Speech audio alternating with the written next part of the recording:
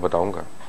अब्दुल रजाक जो था, ये इसने पहली मई को, यानी लेबर डे, जिस दिन हम बड़े ज़ोर शोर से मना रहे थे और सारे तकरीरें कर रहे थे, और लेबर डे की तकरीबात हो रही थी मुल्क भर में और इनामात बांटे जा रहे थे, और वज़ीर आज़म यूसुफ रजा गलानी ऐलान कर रहे थे कि मिनिमम तनख्वाह जो है एक लेबर की, मजदूर की, इतनी होगी।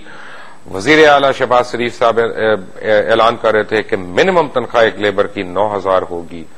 लेकिन उस दिन उस दिन एक मजदूर ने अपने साथ क्या किया क्यों किया ये तो मैं बाद में बताऊँगा। लेकिन क्या किया इस अब्दुल रजाक ने पहले आप वो देख लें। भाई भाई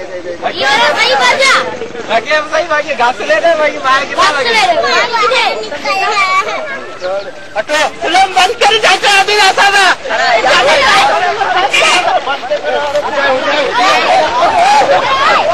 ये खैर, उन लोगों के ऊपर भी तमाशा है जो ये देखते रहे पहले और इसको रोकने की कोशिश नहीं की। लेकिन असल में ये किसके मुँह पे है, ये मैं आपको भी बताऊँगा। पहली मई को अब्दुल रजाक ने अपने ऊपर पेट्रोल छिड़का और सिंध के एक गाँव में इसने अपने आप को आग लगा ली। बुरी तरह छुल ये दोनों है। हुआ क्या? बदीन से हमें ज्वाइन कर रहे हैं अब्दुल रजाक की फैमिली। अब्दुल रजाक की फैमिली को दुनिया न्यूज़ की टीम स्पेशली इनके गाँव से जो सैकड़ों किलोमीटर दूर है यहाँ से, वो बदीन लेके आई है। कल रात को अब्दुल रजाक अपने जख्मों की ताब न लाते हुए एक बर्न सेंटर में जहाँ बहाक हो गया। जब इसने आग लगाई अपने आप को तो उसकी वजह यह थी कि इसके मिल के मालिक ने इसको छह महीने से तनख्वाह नहीं दी थी। और इसका मिल्क का मालिक कौन था? कोई आम आदमी नहीं था। पाकिस्तान पीपल्स पार्टी का बहुत बड़ा ज्याला, डॉक्टर जुल्फकार मिर्ज़ा।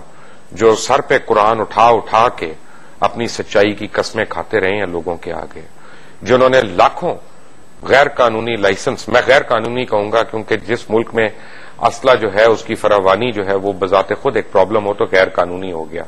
उससे जो हलाकतें हो रही हैं, वो उन्होंने इश्यू की है।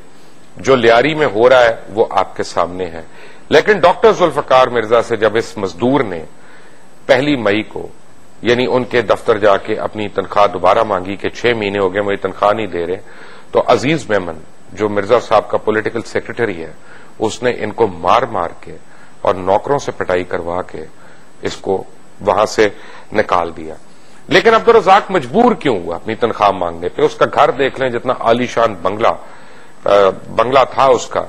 ये अब्दुल रजाक का वो घर जहाँ पे वो रहता रहा अपनी ज़िंदगी के आखिरी मोमेंट तक और इसकी यहाँ पे इसके साथ एक बेवा जो बची और इसकी बच्चियाँ यानी छह बच्चियाँ जिनमें से दो जो हैं वो बेचारी स्पेशल चाइल्ड है स्पेशल चिल्ड्रन है, जो यानी माजूर आप कह लें वो हैं।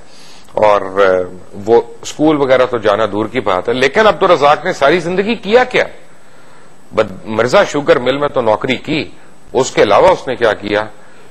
Pakistan Peoples Party parliamentarians Badin का वो नायब सदर था। Abdul Razzaq Pakistan Peoples Party parliamentarians Badin